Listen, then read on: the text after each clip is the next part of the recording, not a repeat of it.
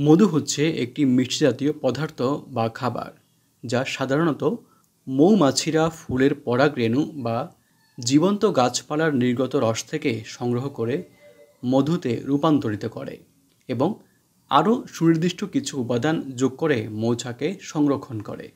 এটি উচ্চ ঔষধি গুণ সম্পন্ন একটি ভেষজ তরল। আসুন, আজকের এই ভিডিওতে আমরা জেনে নেই মধুর জাদুকরী ছয়টি উপকারিতা। এক, কাশি থেকে পরিত্রাণে মধু।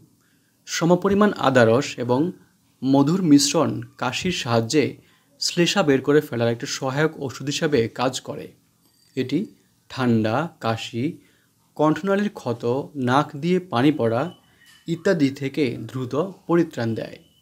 দুই, হাঁপানি রোধ। সমপরিমাণ মধু এবং আদা মেশান। দিনে অন্তত তিনবার এই মিশ্রণ খান। এটা হাঁপানি রোধে সহায়তা করে। তিন, উচ্চ রক্তচাপ কমায়। দু চামচ মধুর সঙ্গে এক চামচ রসুনের রস মেশান। সকাল, সন্ধ্যা দুবার এই মিশ্রণ খান। প্রতিনিয়ত এটার ব্যবহার উচ্চ রক্তচাপ কমায়। চার, হৃৎপিণ্ড সুস্থ রাখতে মধু। এক চামচ মৌরি গুঁড়োর সঙ্গে এক বা দুই চামচ মধুর মিশ্রণ হৃদরোগের টনিক হিসাবে কাজ করে। এটা হৃদ পেশিকে সবল করে এবং এর কার্যক্ষমতা বৃদ্ধি করে। পাঁচ, রক্ত পরিষ্কার করে চর্বি কমায়।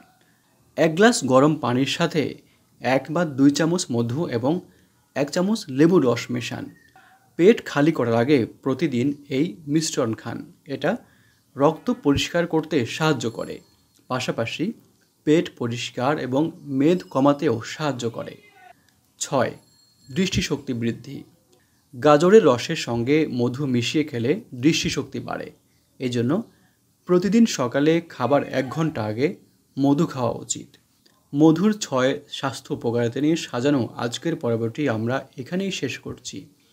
এ ধরনের ভিডিও আর দেখার জন্য আমাদের এই চ্যানেলটি সাবস্ক্রাইব করার জন্য আপনাদের প্রতি বিশেষভাবে অনুরোধ করছি। আপনারা যেখানেই থাকবেন, অনেক ভালো থাকবেন। ধন্যবাদ